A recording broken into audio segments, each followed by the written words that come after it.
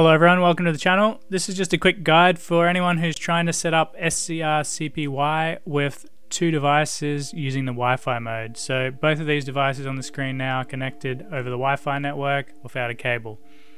Uh, I don't think this is as great as people might think it is. It's quite a lot of trouble to set up and you have to go through the process, uh, well some of the process each and every time. So we'll go through it and you can decide for yourself. So I'll just close these two and we can get started.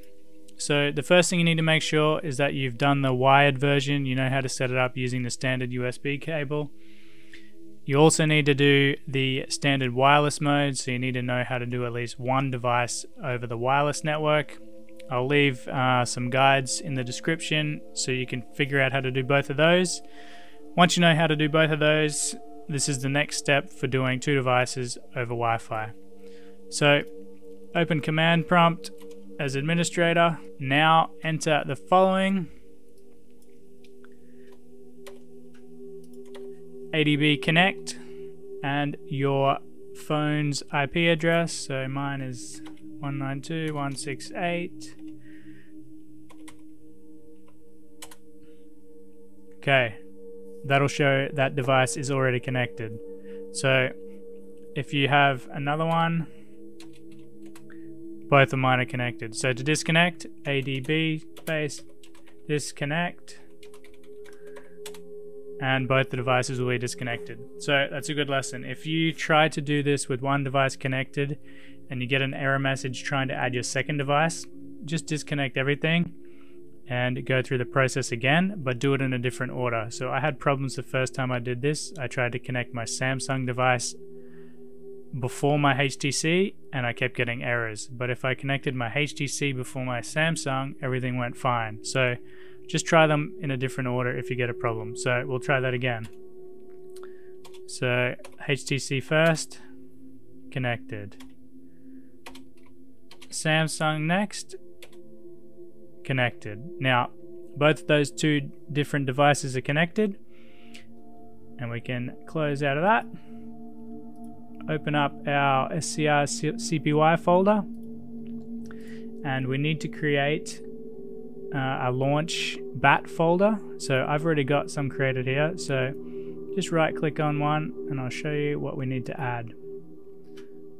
So that is my batch file. So that there followed by my IP address and this will allow you to launch uh, whichever phone you want to launch. So I'll just copy that out for a second and I'll show you how to create a new bat file. So once you're in your SCR CPY folder, right click, go new and go text document. Name this whatever you want. So we'll do test. Make sure you change the extension from txt to bat. That'll give you a bat file. Confirm the change.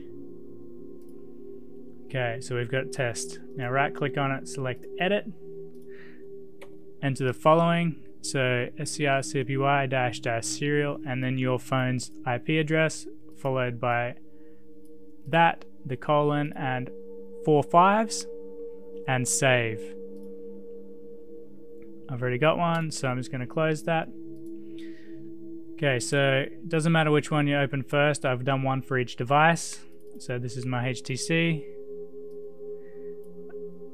that's the window that will appear from the standard command and we will have the HTC open. Now, next one.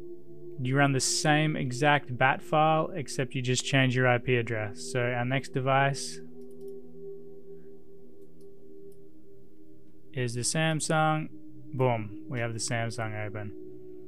So that's both the devices there side by side running. Simple as that. Again, I'll do that one more time. Just go to your SCR CPY folder, create a new bat file, and that's all you need to enter. And that will specify which device is going to open each time. Now, the problem with this is you're going to have to do this every single time you want to launch your wireless uh, version of SCR CPY. So basically, you restart your computer, you go back in, you've got to open command prompt as administrator again. Then connect your devices. So you're going to want to go ADB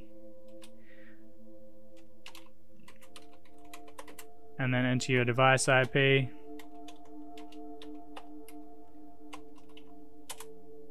And you'll have to connect to that one. Do the same for the second device, and then you can use your bat files that you created earlier.